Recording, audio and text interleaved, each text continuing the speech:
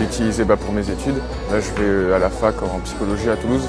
Ça permet au moins de réunir un peu tout le monde et de féliciter pour le travail qui a été fait cette année.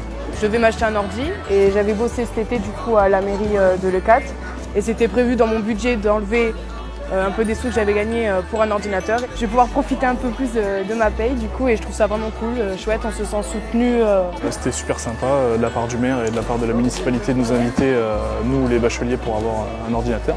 Ça encourage les jeunes à, à poursuivre leurs études et avoir leur bac. Ce soir j'ai reçu un ordinateur qui me sera indispensable pour euh, mes futures études dans l'école d'infirmière. L'initiative d'avoir offert un ordinateur à ces futurs étudiants et en plus d'aider au permis, d'offrir des calculatrices aux futurs collégiens, c'est génial.